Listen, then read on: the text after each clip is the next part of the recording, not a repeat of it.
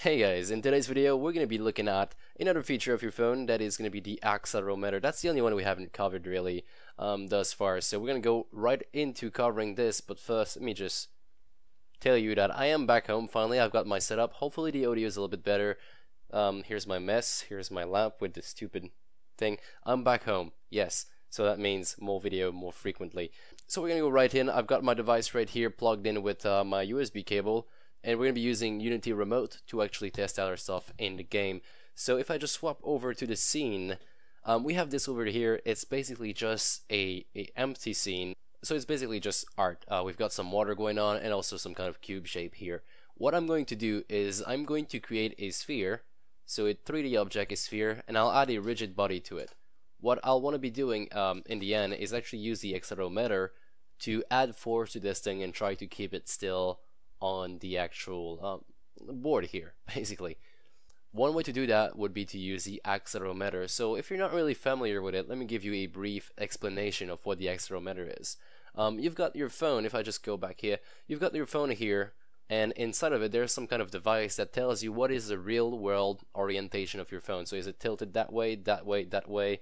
It's like, it's it tells you exactly how your phone is in the real world. Uh, you can pair this with the gyroscope, to just get some awesome result. Today I'm only going to be showing you what you can do with the um, accelerometer. You do have a video on the channel here that talks about the gyroscope if you want to go and see that.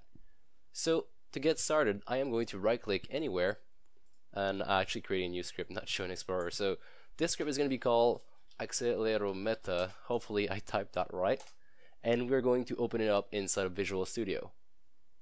Now the way you actually access this real world orientation I was talking about is through a vector3 property that they have set up inside of the, um, they actually have it set up inside of the input class. You can simply type in um, in any function, you go like input acceleration and that's that's the float, that's actually the uh, vector3 you need.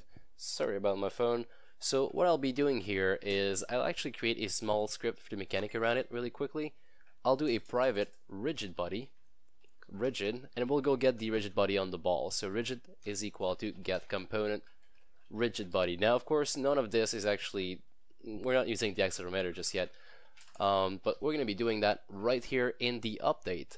So in my update I'll actually just want to try and move my rigid body using the force of the acceleration. So depending on how my phone is tilted I'll just add this force to the ball. So rigid add force let's do a regular add force and we'll do input acceleration. Now we'll actually give this a try in the game and you'll see why it might not be the best idea to do it uh, like this just yet.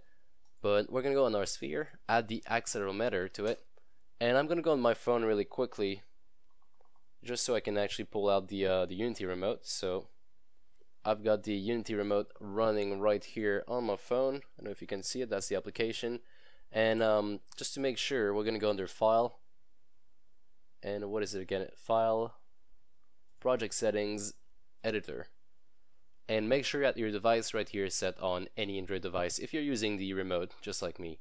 Um, if Of course, there's no accelerometer on your computer, so if you're doing that for a computer game, that's kind of pointless, isn't it? Uh, I'm going to hit play right now. I actually launched this. Hopefully it actually shows in my phone as well. And it does, so I can see it on my phone and the ball is actually moving. However, what happens right here, and I'm going to actually show you the documentation page that goes with it, is that um, it's it's based off the Unity axis, which is what we want, but it's also based off if you are using your phone in front of you. So here it is. We are respecting the same exact coordinate as in Unity. As you can tell, the y-axis is the up and down. Uh, you've got x on the left and right, and z in the back and front. However, this is assuming your, your uh, device is actually in front of you. In our case, if we want to balance our thing out on that board, uh, we have to imagine that our phone is not in front of us, so it's not actually like this, it would be on the table, just like that. So to do that, we have to actually flip the acceleration input first. So let's go back inside of the game, and I will quickly flip this vector 3. So if we do want to have this flat on the actual desk, on a table, whatever, um, what I'm going to do here is declare a new boolean at the top. So public boolean is flat. And let's assume that it is in this case. So by default, I'll be setting my boolean to true. And we're going to declare a new vector3 right here, which is going to be the tilt of our phone. it's equal to input dot acceleration and let's actually modify our add force by the tilt. Now at this point all we have to do is the operation to rotate that vector um, downward. Right now if we just hold our phone directly on the table it's going to be pointing, um, well, if we just leave it on a table like this, it's going to be actually tilting towards a direction. We want to be able to have that direction pointing downward. So we'll actually type in something here. If it is flat, then we're going to apply the modification by rotating our um, our actual vector 3 right here by doing a quaternion Euler. Let's take the angle 90 degrees 0 0 and then do times the tilt. This way we're going to be rotating our vector 90 degrees in X. And um, that's pretty much all we need here. Now, of course, this might confuse a lot of people because quaternion are not as easy to understand, but this is how we rotate. Um, if you just want to rotate a vector like this super quick, super fast, simple, you're going to be using quaternion and then just put your angle, the one you actually input in Unity Inspector, and then you do times your actual vector. This way you can rotate it. Now to actually show this a little bit better, I'm going to do a debug draw ray so we can look at um, this vector in the game. So I'm actually going to put this vector right on top of the sphere. Let's do transform dot position plus vector 3 dot up. This way it's always going to be on top of the sphere and we're going to add the tilt here. Also we can change the color for say cyan or green or whatever you want just to have a better look at it. So right now in the real world I have my Unity remote open. I'm going to leave it on my desk. So it's flat on my desk.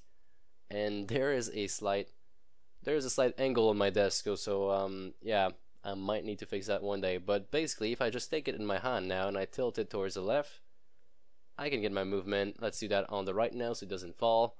Tilt it forward a bit, backward, and I can just play with these in the game using my phone and it's now pointing downwards. So if I just put it back on my desk as you can tell it's now flat again.